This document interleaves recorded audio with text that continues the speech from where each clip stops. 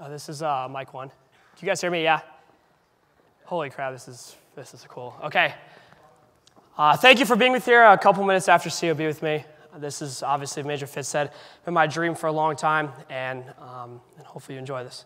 So my name is Zach Cohen, and this is me. This was me. This was me on exactly my first birthday on March 14th, 1996. This was me on my deathbed, and this was me with less than 5% chance to live.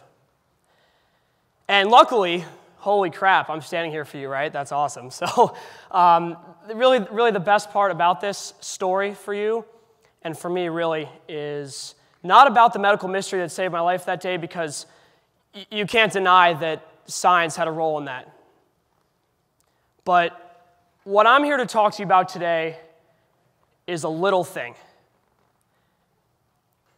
And the little thing that saved my life that day, and that little thing is this cake. As I said before, if you remember, my birthday was that day.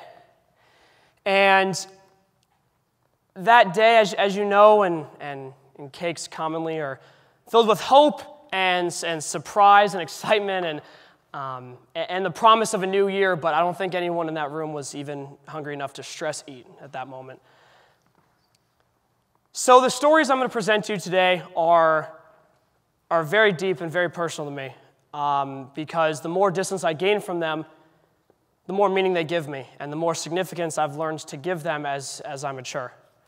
So, this is a story about the little things. And the first little thing I'd like to talk to you about is this napkin. I think it's kind of funny when I tell this story, people kind of go, oh, that's, that's exactly what happened to me. I would say from, I don't know, from the first day of kindergarten until I tossed my graduation cap at, in high school, my mom made my lunch for me every single day.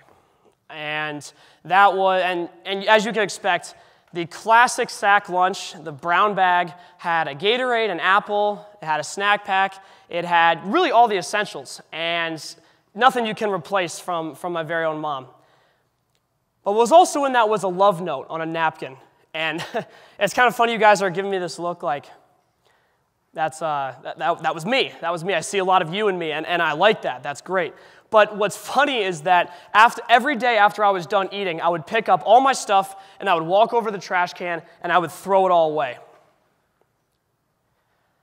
And the fact that everyone in this audience is really looking at me like, what the heck was that story for, means that you missed the point like I did.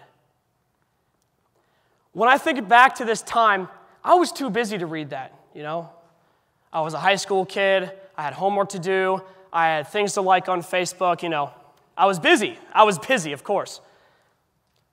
But what does, that, what does that say about me? What does that say about me and that I did not take the time to pay attention to the little things, to this cake, this very small thing that, you know, could have made my day happier if I gave it a second.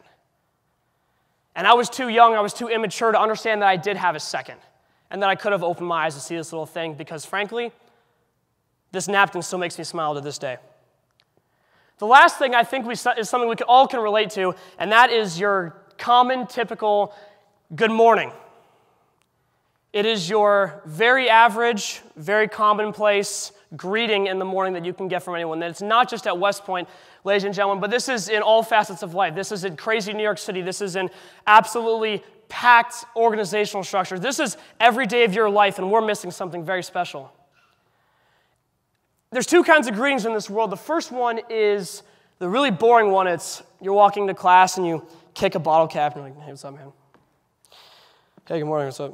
And you're still asleep at 7:45 in the morning and you don't even know that kid exists. Like, holy crap, this guy just walks by you and you had no idea what this guy said, right? Or, or, or this girl or this person who was maybe feeling a little down in him or herself and you, and you, and you missed it. But there's the other one there's the other kind of greeting that I know you've all experienced. You're walking along, you're hurrying off to class, you're really busy, you've got a hundred things going on, and someone looks you dead in the face, looks you really right into your soul, and says, Hey, good morning. And I know we've all had that feeling, we've all had that experience of another person brightening our day like that. And you're like, Whoa, my God.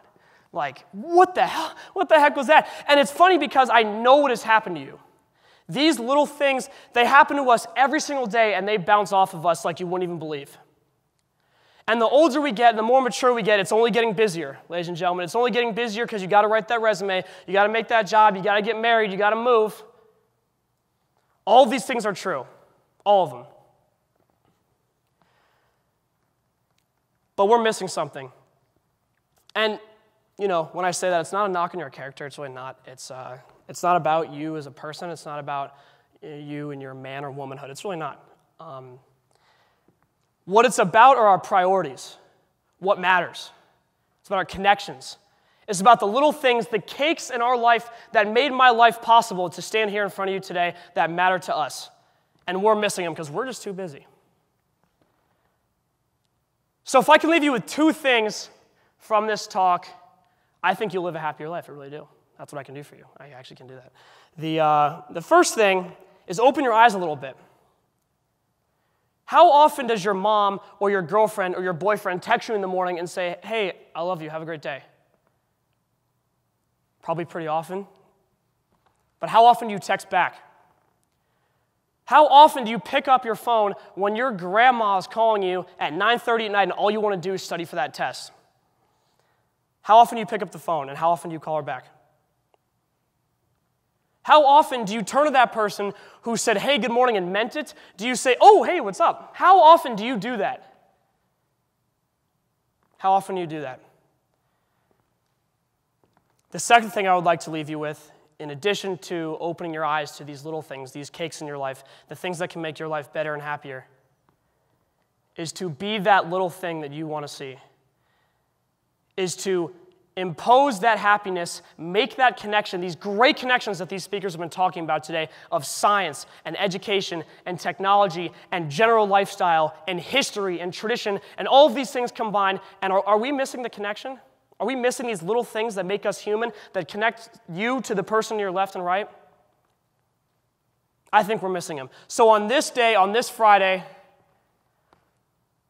in this TEDx talk, the inaugural TEDx talk at West Point, I challenge you, above all things, to be the cake. Thank you, ladies and gentlemen, for coming. Have a great Friday and have a good weekend. Thank you.